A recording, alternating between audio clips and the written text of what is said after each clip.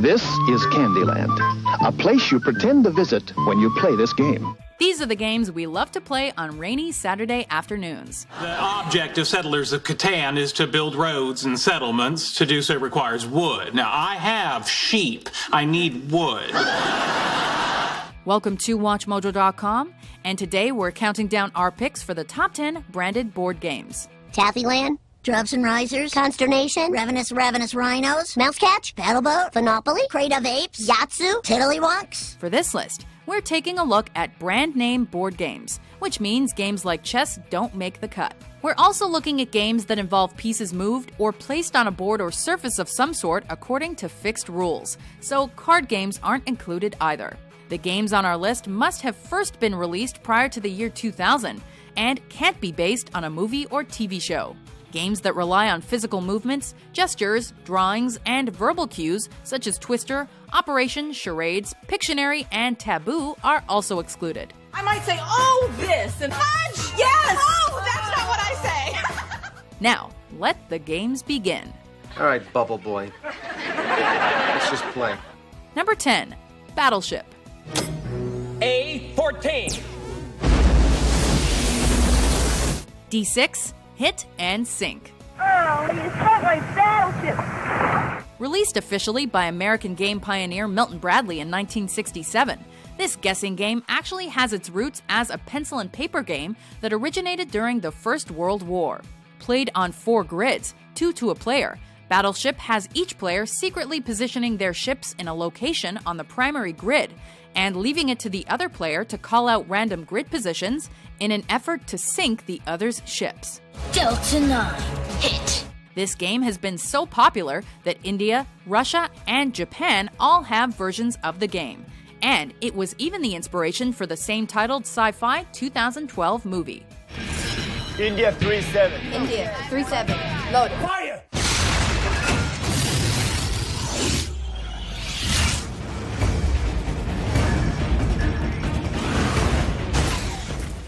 Fire! 9. Sorry. Sorry. Sorry. Coming through. Sorry. Based on an ancient Indian game called Pachisi and dating back to at least the 16th century, Sorry was eventually registered in England in 1929. It was then adopted by the Parker brothers, who were later bought out by Hasbro, and that company produced the version we know today. In the game, two to four players must compete to see who travels fastest with their piece around the board, using cards and areas on the board to either speed up their own process or slow down others.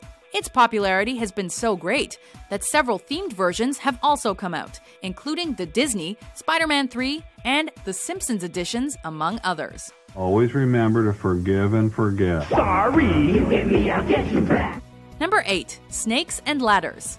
Sold in England and Canada under the name Snakes and Ladders, and Chutes and Ladders in the US. This classic race game is another from ancient India and was taken on by Milton Bradley in 1943. Though the game originally featured snakes instead of chutes, it was changed in America because the company thought kids would be put off by snakes. You can land on something good, like rescuing a kitten in a tree, Ah, you're going up, up, up the ladder. or land on break the cookie jar. The game can also be used as a moral lesson of sorts, with the most popular version featuring a board where the travel goes up and down ladders and snakes, which symbolize the consequences for good deeds and mischievous deeds, respectively. Top of the heap, up down I go! On top for good! Oh, cruel hubris! Number 7. Trivial Pursuit. Who invaded Spain in the 8th century? That's a joke. The Moors. Oh no. I'm so sorry, it's the Moops. The correct answer is the Moops. After finding misplaced pieces of their Scrabble game, a photo editor and sports editor from two different Montreal newspapers decided to create their own game in the late 70s. Ultimately released in 1982, Trivial Pursuit is a game in which you must move around a board by answering trivia questions correctly, and it came to be hugely popular, having sold almost 90 million games in almost 30 countries by 2004.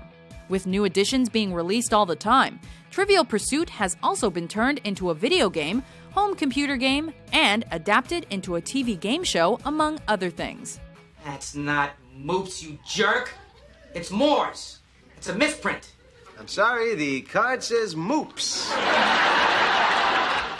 Number 6. The Settlers of Catan.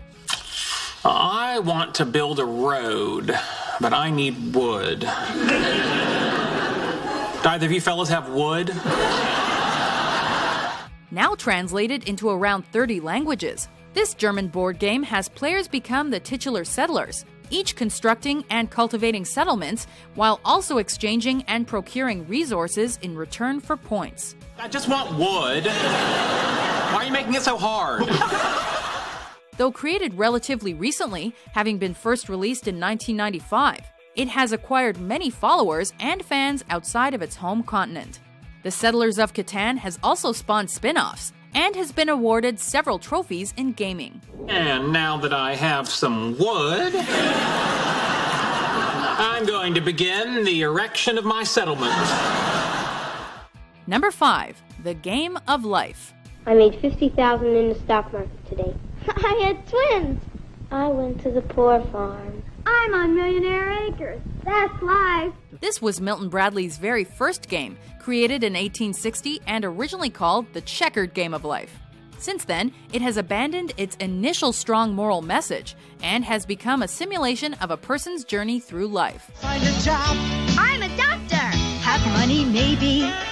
Get married. Have a baby. I got twins including major life events like going to school, finding a job, getting married, and more. Life also has its players dealing with insurance, stocks, and even midlife crises.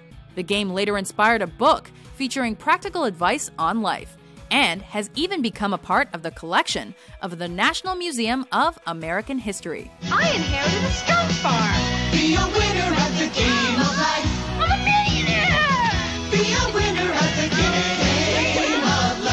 Milton Bradley. Number 4. Clue. Always dead he is. It's a classic game of Clue. Who done it, where they done it, and with which weapon they uh, done it with. Was it Mrs. White in the library with the rope? Mr. Green did it in the study with a knife. Created by an English musician in Birmingham as a new game to play during air raids, it took off as a murder mystery game, where up to six players must take on the roles of the suspects and deduce who killed the game's victim, in what room, and with what weapon. Moving around the board and collecting clues, the first person to deduce the right answer wins. Originally called Cluedo, Hasbro has since bought the rights to the game, which has produced more games, books, and even a 1985 movie. Everybody switch off the lights. Number 3. Scrabble. Phoebes, I don't think scrunchy is a word. Why not? If crunchy is a word, why isn't scrunchy? Well, okay, then I'm using that same argument for fligament. Very few board games have become international, sold over 150 million copies, and inspired TV game shows and multiple documentaries. Most women prefer men with a fat one. I think that S is a stopper. So let's try paycheck. That's exactly right. It is paycheck. However, Scrabble is one such game. Created in 1938 by an American architect, this mentally challenging game sees players using tiles with letters on them to create words either left to right, horizontally, or downward vertically on a board with a grid. Initially rejected by companies like Parker Brothers and Milton Bradley, Scrabble has since been inducted into the National Toy Hall of Fame, and there are currently tournaments where the world's best players compete against each other. Shacktastic, 29 points. Um, how did you get so many cues? Don't worry about it. Number 2. Risk. Risk. Risk. In 1957, French film director Albert Lamorisse created a board game he called La Conquête du Monde. Recognizing gold when they saw it, Parker Brothers bought the rights to the game and released it two years later as Risk, the game of global domination. I can't think, there's all this noise. Or is it because I've built a stronghold around Greenland? I've driven you out of Western Europe? And I've left you teetering on the brink of complete annihilation.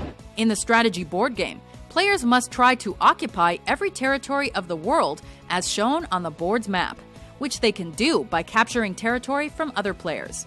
Hasbro has since created versions based on film and television, including Transformers, Star Wars, and Lord of the Rings themed risks. Win the game, and you win the world. Parker Brothers kind of fun.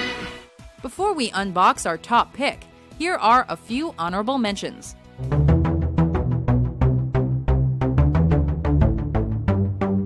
for it red.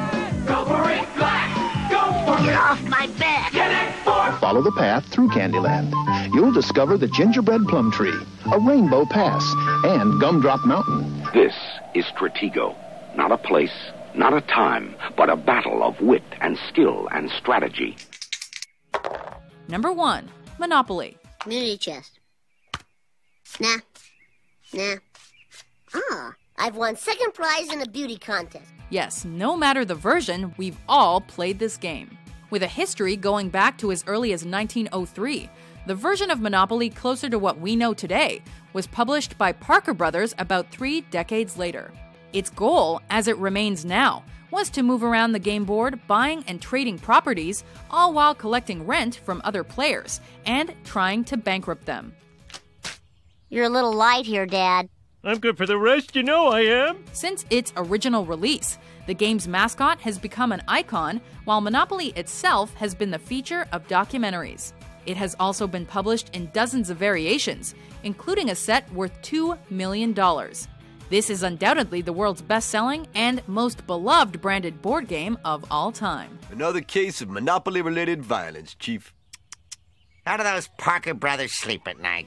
Do you agree with our list? Which branded board game do you have sitting in your living room? The Ukraine is weak. It's feeble. For more entertaining top 10s published every day, be sure to subscribe to WatchMojo.com. Ukraine is came to you. How about I take your little bonus?